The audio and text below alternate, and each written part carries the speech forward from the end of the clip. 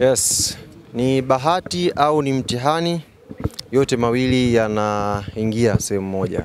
Ni bahati kwa sababu katika kundi kubwa la waandishi ambao tuliomba nafasi Young Africans, sisemi kama nilikuwa bora kuliko wengine. Kwenye yale maombi wako waandishi ambao naamini walikuwa bora, watu wenye uzoefu muda mrefu kwenye kazi, walituma maombi kwa kuona nimechaguliwa basi ilikuwa ni bahati kwa upande wangu, kwa sababu nilikuwa nagombea au nawania hiyo nafasi na watu ambao wana uzoefu na ubora pengine kuliko nizi- kunizidi mimi. Ni mtihani kwa sababu furaha yangu ya kusherehekea nafasi hii haikuwa kubwa sana, ilikuwa ya muda mfupi, kwa sababu mahaba, upendo, ukaribisho ambao mashabiki wa soka wa Young Africans, wanachama Young Africans walionipatia baada ya kutambulishwa yalifanya sherehe zangu za kusherehekea nafasi hii kuwa ndogo sana. Ilikuwa ndogo kwa sababu nilitafsiri upendo wao kuwa tumaini, yaani wao wana matarajio makubwa sana na mimi. Kwa hiyo kama matarajio ni makubwa, basi nafasi ya mimi kusherehekea haitakiwi kuwa kubwa sana. Natakiwa niwalipe imani ambayo wameiweka kwangu, nikawalipe kwa kazi nzuri na kuifanya idara yetu ya Young Africans iwe moja ya idara kubwa ya kisasa kwenye mchezo wa mpira wa miguu kwenye levu ya vilabu.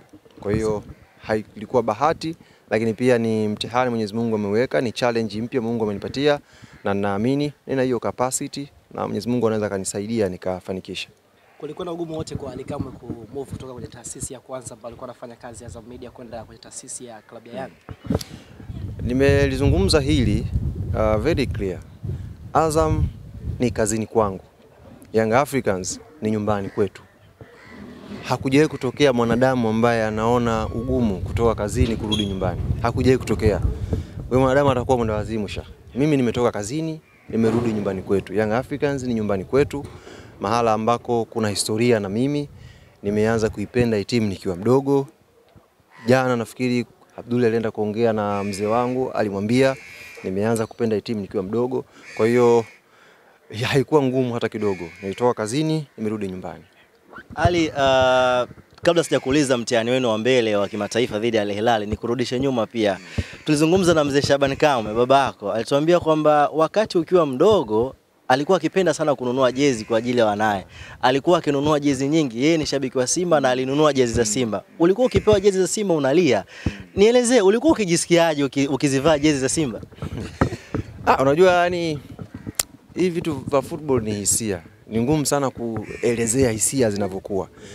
Mimi kitu ambacho nafikiri, unajua tuwe tu wa kweli, hizi timu kwa kiasi kikubwa huwa tunarithishwa kwenye familia tunazotoka, yaani hizi timu, alafu kuna muda unafika unaanza kupenda mwenyewe. Mimi mzee alipambana sana niwe shabiki wa Simba, ndio maana ana hivyo viofaofa vya jezi, sijui kifaulu takupa hiki na utaenda kuangalia mechi ya Simba. Lakini bahati mbaya kila mechi ya Simba akinipeleka Simba walikuwa wanakandwa, yaani kiatu kinipeleka uwanjani Simba wananyoshwa. Kwa mimi nikirudi nyumbani mzee, ah, Simba Simba ndio ile nimeiona imenyoshwa hiyo, unaona? Sasa kuna mzee wangu babangu mdogo, yeye ni shabiki wa Yanga. Sasa yeye alikuwa yuko vizuri kimkakati. Mechi ya Yanga United Rangers amenichukua, tumeenda mtu kafa nne, tunarudi. Mechi ya Yanga sio na timu gani huko, mtu kafa tatu. Kwa hiyo nikajikuta mahaba ya Yanga yameanza kuwa makubwa. Kwa mzee kuniadhibu sasa, ndo siku za sikukuu atanua nguo zenye rangi nyekundu kwa watoto. Jua ikiwa udogo nguo sikukuu chagui wewe, anakuchagulia mzazi. Kwa hiyo akija na mingo yake mekundu mingi pale kwa hiyo unajikuta wewe unalia kwa sababu unakosa sasa cha kuvaa. Na mimi kweli nilikuwa sivai zamani, mtoto kwenye nguo nyekundu nilikuwa sivai. Sasa hizi unaweza ukavaa, lakini nilikuwa sivai kabisa zamani. Nguo ile rangi nyekundu nilikuwa sivai. Kwa hiyo sasa baba mdogo tunakaa nafanya kazi na sasa ananiletea. Eh, vijezi vya Yanga pale, sijui vinguo nguo na nini. Kwa hiyo ilikuwa ni yale makuzi ya kifamilia ya ukuaji. Kwa hiyo baadaye ulivyokuwa nilivyoanza kuelewa mambo, kuyachanganua mambo kwa maarifa yangu, nikaona kumbe sikuwa nimekosea kuipenda Young Africans, timu ambayo ina historia kubwa na mpira wetu, timu ambayo imeshiriki kwenye harakati nyingi za kimaendeleo kwenye nchi yetu. Kwa hiyo nimejisikia raha na mzee ah, nimeshamwambia, yani sikuwahi kujutia kukataa upande wako kuwa upande wa wananchi. Lakini Ali, uh, mapema jana asubuhi Ahmed Ali kupitia ukurasa wake wa Instagram aliandika kwamba anakupongeza sana na amefurahi, lakini amekukaribisha katika ulingo. Ulingo unakutisha kwenye game unavyoiona kwa hivi sasa? Kwanza Ahmed Ali ni rafiki yangu wa karibu sana. Mimi nitawapa nitawapa siri leo, na Ahmed anaweza kuwaambia pia. Ahmed mtu wa kwanza kabisa ambaye alimshirikisha kwamba mimi Simba wamenitaka kwa marafiki, sijui wazazi na watu wengine, kwa marafiki naamini nilikuwa mimi na naamini kwa sababu ya maneno yake kwamba wewe mwandamizi wangu, tumefanya kazi kwa karibu, tumeshauriana vitu vingi, kuna hii nafasi ya kwenda Simba Sports. Nakosea? Siku ya kwanza tulizungumza masaa matatu, hatukufikia mwafaka, mimi na yeye tukaachana. Siku ya pili tukazungumza tena, of course alikuwa na huo wasiwasi. Kwa hiyo nikamwambia mimi nikitazama ubora wako, nikitazama nafasi ambayo ipo pale Simba Sports, we unatosha. Hem, toa wasiwasi, unakwenda kufanya kazi kwenye taasisi kubwa, taasisi ambayo inagusa hisia na maisha ya watu. na mimi uko tayari, nenda kafanye kazi Simba Sports. Baada ya pale, nakumbuka sisi tulikuwa tunaondoka kwenye mapinduzi. Ahmed alianzia kazi Zanzibar. Eh, tunaenda mapinduzi na akatumia Messi. Bwana leo jambo limeisha. Na alinisisitiza bwana naomba sana ushirikiano wako. Kwa hiyo mwanzoni nilikuwa najaribu kuzungumza na Ahmed. Ni kijana mwenzangu, rafiki yangu. Kuna ile kushauriana. Sasa vipi bwana? Eh, tunafanyaje? Tunafanyaje? Sio urafiki na sio jambo baya. Kwa tulikuwa tunashirikiana hiki vipi hiki. Ah, Baadaye siasa za mpira zikaanza. Ali bwe Ahmed yupo karibu sana Alikamwe Ali Kamwe. Wewe Ali Kamwe Yanga afu upo naye karibu. Mwanangu akaanza kunipunguza. Eh, akaanza kunipunguza. yani zai ikawa akinipigia simu, hela simpati, unajua zile. Lakini siku nyingi, lakini ni mtu mungwana, ukimpigia ukimkosa usiku atakupigia. Mwanangu vipi una shida gani mnaongea? Lakini aundua kiutu uzima hawezi kunichana kwamba mwanangu kuna challenge hapa ya Simba na Uyanga. Kwa hiyo kuonekana mimi nipo karibu sana na wewe tuna hang na kila kitu inaweza kutengenezea picha mbaya kwa mashabiki wa Simba. Kwa hiyo nikaelewa mwana amenipunguza na nikaheshimu maamuzi yake sababu ipo kazini, lakini still tuko friends na tuna chat. Hata mimi sasa nilipotakiwa nije Young Africans nilimtafuta pia, kaambia ndugu yangu, sasa ehe, ile vita yetu ya kwenye build up naona kabisa inatakiwa kamia kwenye kwenye mpira. Kwa nini? "Ah, Bwana, ninataka niende Young Africans. Natoa maombi, nikaambia ndio makuzi yake tena Hamid akachambua wale watu akaambia moja mmoja, sitaweza kulisema vokuwa anasema moja mmoja, huyu ah, huyu atamkata huyu huyu atamkata, akanga wewe wewe utapita hapa. Kwa hiyo akamwambia cha msingi hapa, wewe anza kutafuta wazee wa kuombee, Anafanya nini na nini, kama una mbuzi chinja.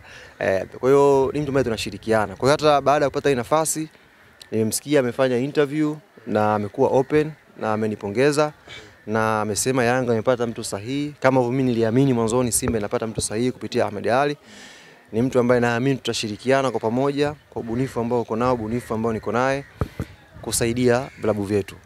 Tunataka tutoke kwenye propaganda ya kutengeneza afisa habari ambaye anakuwa maarufu kuliko hata Faisal au kuliko hata Chama. Hapana, tunataka tutengeneze mfumo wa idara zetu za habari kuwa za kisasa na zenye mchango kwenye maendeleo wa timu zetu. Kwa hiyo ni assignment ambayo Ahmed yuko nayo na mimi niko nayo kupitia hizi klabu kubwa mbili kwa umri ambao niko nao mimi na Ahmed, naamini baada ya muda mfupi Tanzania na Afrika kwa ujumla itakuwa imeona kwamba kuna hatua ilifanyika wakati fulani baada ya vijana wawili kupewa, kupewa kazi. Kwa hiyo ni mwanangu Na- Sawa, mtihani unaofuata ni Al Hilal. Uh, tunasikia hadithi nyingi sana za Al Hilal kubwa, wame, wana rais mpya, kocha Ibenge ambaye ameshinda uh, taji la kombe la shirikisho Afrika. Ha- ha- sana Yanga na, na naona umekuja kivingine, unasema ule mnyororo unakatwa wa Yanga kutoshiriki vyema kimataifa, mnakwenda kukata huu mnyororo. Niambie Ali, mashabiki wa Yanga wana imani kubwa na wewe, pengine labda waambie kuhusu huu mnyororo mnaokwenda kukata, mnaukataje?